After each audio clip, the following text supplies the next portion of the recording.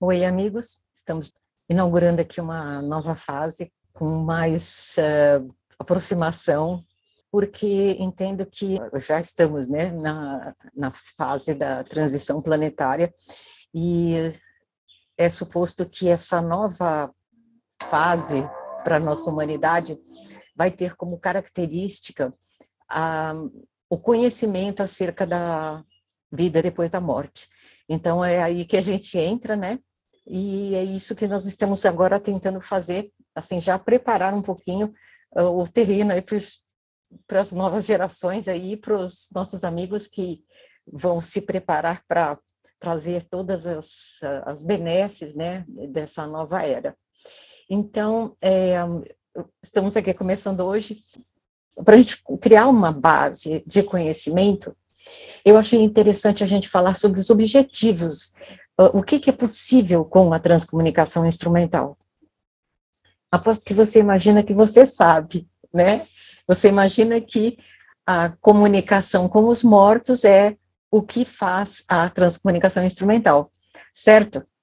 Errado, erradíssimo, porque na verdade, pelas nossas pesquisas, nós temos percebido que a comunicação com os mortos é provavelmente a menor parte da, dos, das muitas coisas que se pode fazer através da comunicação por meios eletrônicos com os outros planos dimensionais, ou seja, que não estejam no nosso plano de vida, certo?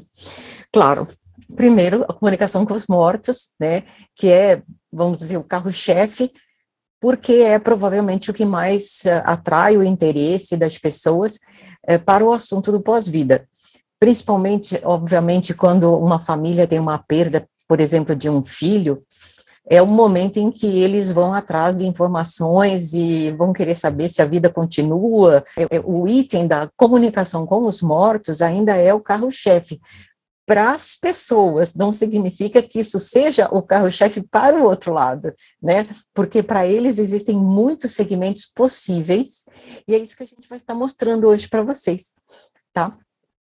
Por exemplo, além da comunicação com os mortos, que nós vamos chamar de número um, né, nós temos como número dois a comunicação com vivos. E nem todas as pessoas sabem que a comunicação com vivos é uma das grandes e fantásticas possibilidades da transcomunicação instrumental. E por que ela é importante? Porque no momento em que isso se estabelecer como uma verdade, na, na verdade, é, no momento em que isso é, ganhar é, espaço, é, com certeza vai ser uma revolução na medicina, principalmente em todas as áreas, né? Talvez principalmente a psiquiatria, a psicologia, mas, aliás, de forma geral, em todas as ciências, vai ser uma revolução, mas a, a medicina em particular, porque é, vai estar se acrescentando, além do corpo físico, né, que os médicos já tratam, né, e com enormes avanços nas últimas décadas, mas ainda não incluíram o, o espírito, a consciência.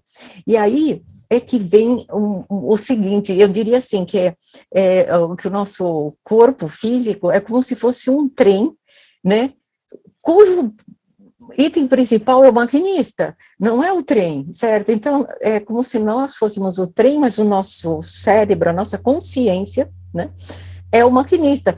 Então, é, trata-se do trem, mas não trata do maquinista. Então, a coisa não vai dar muito certo, né? E é isso que é, deverá mudar muito na, nessas, nessa nova fase que a gente espera que a gente esteja caminhando para, né? Bom, e por que, que a comunicação com vivos é possível? Né? Porque isso parece assim, uma coisa surpreendente. Mas é muito simples, se você raciocinar que a comunicação com os mortos é possível, porque uh, a nossa consciência, vamos chamar assim, eu prefiro do que usar a palavra espírito, porque a palavra espírito remete muito para uma questão religiosa, e eu acho que a gente pode, na verdade, fazer uma coisa neutra, né, sem um aspecto religioso, né, nesse trabalho. Então, a, a consciência, é, a gente sabe que é, quando a pessoa morre, a consciência sobrevive. Ou seja, na verdade, o espírito sobrevive, certo? Isso é o que a gente tem exaustivamente observado nas, nas, nossas experiências e, enfim, está em todos os cantos, em todos os tempos, né? Não é nenhuma novidade. Então, a, a, o raciocínio é assim: se a, quando a pessoa morre, a consciência continua, ela continua íntegra, habilitada com todas as suas memórias, ela continua habilitada a se comunicar, que é justamente a transcomunicação com os mortos, né?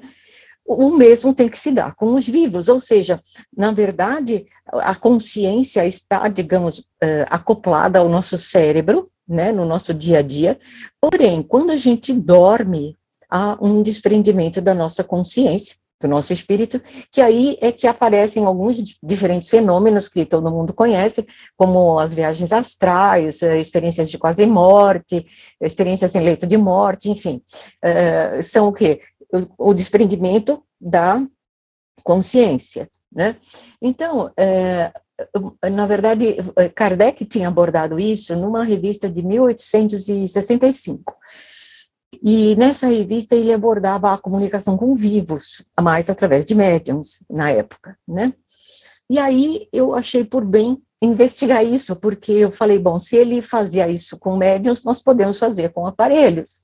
E comecei a fazer testes com pessoas vivas, porém com pessoas cujo cérebro, por algum motivo, de alguma doença, é, estivesse prejudicado, danificado, como, por exemplo, uma pessoa em coma, né?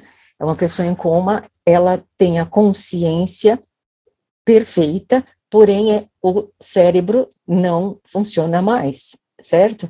Mas a consciência dela está tão íntegra que quando ela vier a falecer, essa consciência vai poder se comunicar normal, certo? Então, o que acontece? Com outras doenças, por exemplo, o Alzheimer. O Alzheimer é, causa danos no cérebro físico, porém, de novo, a consciência está íntegra. Autistas também é a mesma coisa, tem o cérebro prejudicado, afetado, porém a consciência está perfeita. E casos mais, como eh, pacientes com esclerose lateral amiotrófica, que não podem mais se comunicar, não conseguem mais falar, poderão se comunicar, sim, por aparelhos. Pacientes terminais, né? Eh, obviamente, a maioria acredito que já acompanhou pacientes que estivessem partindo e sabe que nos últimos momentos, nas últimas horas ou nos últimos dias, a pessoa já está é, inconsciente, vamos chamar assim, para cá, para o nosso lado, né? Está inconsciente, é, mas, de novo, a consciência continua perfeita. Então, é, quantos acidentes de carro, de moto, né? Deixa a pessoa uh, em coma ou com o cérebro prejudicado. E essas pessoas não conseguem mais se comunicar, né? É o caso de várias doenças que causam isso, neuropatias e tudo. Então, o que acontece?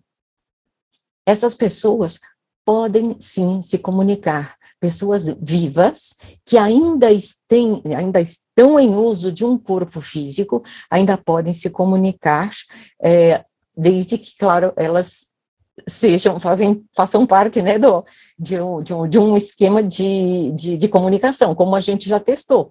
Então, por exemplo, eu fiz eh, várias experiências com pacientes que não se comunicavam, né, como com, vou mostrar aqui para vocês é, a capa das revistas que a gente chegou a fazer. É, eu fiz aí um estudo muito interessante com uma paciente chamada Malu a Malu eh, tinha, na época, 11 anos, autista não verbal. E, pasmem, nas comunicações, pela, pe, pelos instrumentos, enquanto ela dormia, isso está muito bem documentado em, na revista, cheio de vídeos, com, teve a participação da mãe dela, né, que nos apoiou bastante, e a menina não apenas falou, coisa que ela não fazia aqui né, no nosso lado, mas ainda cantou. A mãe ficou absolutamente pasma, né? E tem mais um outro caso muito interessante, entre outros, né? É, de um menino de três anos que não tinha também é, coordenação, ele tinha um problema grave de, na coluna vertebral, e não é uma doença que não permite que a criança sente, fale, ande, né? E nós fizemos com ele e obviamente, gente, foi uma surpresa e tanto. Então, é, imaginem o que isso pode representar em termos de uma revolução para a medicina, porque os pacientes que os médicos consideram vegetando, vamos dizer assim, né, em casos mais graves, na verdade, eles têm plena possibilidade de se comunicar. E, e, dizer, por exemplo, se eles gostariam de ouvir uma música, se eles gostariam de é, conversar com um parente e dar um nome. Eu tive a oportunidade de conversar com o meu pai quando ele, ele tinha demência senil, ele já estava com 93 anos, né? E não se comunicava mais, ele passava o dia, digamos, olhando o teto, né, na cama, super bem cuidado, né, com cuidador, com tudo, mas, né, eu conversava com ele através de aparelhos, e ele dava notícias, gente, que, que era, assim, desconcertante, ele dava nome de parentes que já tinham falecido e que tinham vindo visitá-lo, Uh, dizia que médicos tinham vindo, quando na verdade não tinham vindo médicos é, deste lado. Então, eram médicos espirituais que estavam acompanhando né, fase terminal. Então, enfim, foi um volume de conhecimento gigantesco, tá? E é, tudo isso está nas nossas revistas, né? Quem tiver interesse por essa área é, vai ter bastante com o que se distrair. Então, se é possível a, a comunicação com os mortos e com os não saudáveis, também tem que ser possível a comunicação com os saudáveis. E aí eu fiz teste com pessoas vivas, enquanto elas dormiam, né? Elas eram conduzidas para a estação transmissora e se comunicavam. No dia seguinte, eu mandava para elas o que elas tinham dito, o que elas tinham comentado na gravação enquanto dormiam. Né?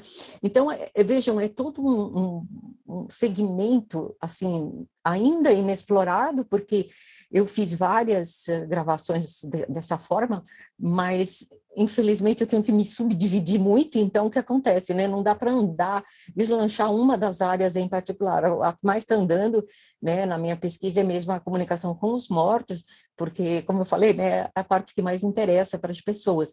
Mas essas comunicações com vivos, eu acho que um dia vai ser algo assim super marcante, porque os médicos vão poder usar disso para saber o que que os pacientes gostariam na fase terminal, né, poderiam, de alguma forma, é, tornar mais leve né, esses dias finais. Tem mais um segmento que vocês não estão esperando. A comunicação com bebês não nascidos. Também fiz testes, eu acho que foram duas revistas inteiras só de comunicações com, com vamos dizer, com o espírito que iria, que estava na, na gravidez, né? E não chegou a nascer porque houve algum tipo de complicação, por algum motivo a pessoa perdeu, né? E eu fiz, eu acho que foram nove mães de bebês não nascidos, que também estão nas nossas revistas, que vocês poderão acompanhar em áudio, e foram comunicações assim surpreendentes as mães ficaram maravilhadas, porque é, ninguém fazia ideia que, na verdade, feto parcial, né, porque não chegou a nascer, na verdade, aquilo é um espírito, era um espírito, continuou sendo. Então, uma vez que houve o, o, o aborto, né, a, a perda do, do feto, a consciência continuou íntegra. E, mais uma vez, essa consciência pode, poderia se comunicar, e foi o que a gente testou.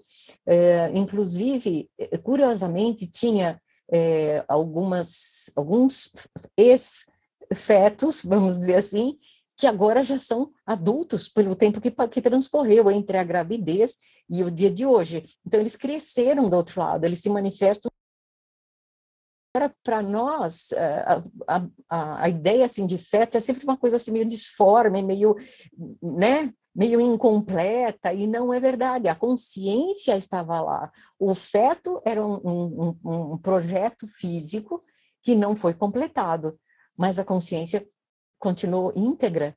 Então, isso foi mais assim uma surpresa que a gente teve, e eu ainda imagino o que, que ainda vem pela frente. Né? Bom, daí eu falei que eu apostava que vocês não sabiam quais eram todas as possibilidades da transcomunicação, né? E agora eu venho com mais uma. Além da comunicação com os mortos, com os vivos doentes e com os vivos saudáveis, também é possível a comunicação com animais. Daí vocês vão falar: ah, não, não é possível. O pior é que, na verdade, e na verdade nem fui eu que descobri isso. Foi uma transcomunicadora portuguesa que fez as primeiras gravações e surpreendeu-se com os resultados. Daí eu passei a fazer também, quis testar, porque eu achei muito louco. Eu falei, não, gente, isso aqui não é possível. E depois eu consegui, inclusive, entender como que é esse processo, porque na realidade é óbvio que os animais não falam, né? Mas eles se expressam de alguma forma e isso na verdade é lido por um o que eu chamo de um biocomputador, porque a gente na verdade também não faz ideia exatamente do que seja. Então eu chamo de biocomputador, porque deve ser um tipo uma máquina, mas que é uma máquina muito evoluída, né? que meio que é meio biológica, coisas do futuro, talvez para nós, né? Mas sim, eles podem se comunicar e cheguei a fazer também revista que aborda essa questão da comunicação dos animais, né? E outra coisa também possível é a comunicação com seres muito elevados, porque eles têm muita dificuldade de se aproximarem da Terra né, para alguma comunicação mediúnica. Então, o uso de aparelhagem é assim, uma solução ótima. Né? E, e, dessa forma, a gente tem muitos registros de comunicação, tanto em imagem quanto por voz, com extraterrestres e ultraterrestres. Quem que são os ultraterrestres? São aqueles seres que acompanham a nossa civilização desde alguns, provavelmente nessa rodada, talvez uns 10 ou 12 mil anos, né? São seres que, estiver, que tiveram uma evolução terrestre alguma vez, no passado remoto, como nós estamos tendo agora, e uh, ficaram para orientar as próximas civilizações. Foi uma opção que eles fizeram. Né? E esses são, seres são chamados de ultraterrestres, e eles mesmos se denominam como seres do comando. Né? Então, a comunicação com seres do comando também é mais uma possibilidade da transcomunicação. Então, o que eu queria contar para vocês era isso. É, eu acho que trouxe novidades, né? Eu acho que muita gente não fazia ideia dessas uh, tantas um, uh, possibilidades da transcomunicação. E eu vou aqui deixando um abraço bem forte para cada um e pedindo, é, se você quer nos ajudar na nossa proposta da comprovação do pós-vida, que a vida não termina no túmulo, mas que a vida continua. Se você gostaria de nos ajudar, faz uma coisa por nós. Inscreva-se aqui e uh, toca lá no sininho, que isso vai nos ajudar a fazer